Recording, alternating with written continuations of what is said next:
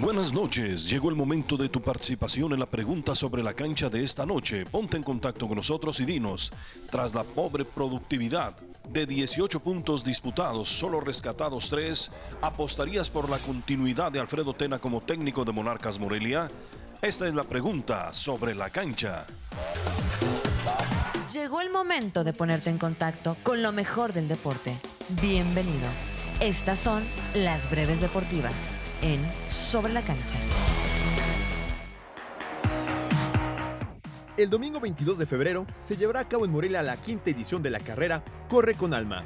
Este es un evento que organiza el patronato de la Casa Manc para niños y niñas con cáncer y que tiene como objetivo principal el de recaudar fondos para apoyar el tratamiento de los pequeñitos que padecen esta enfermedad. El recorrido comprende 5 y 10 kilómetros, con salida en el Estadio Venustiano Carranza, rumbo al Templo de la Merced y de regreso hacia la avenida Enrique Ramírez, para retornar al punto de partida en el estadio.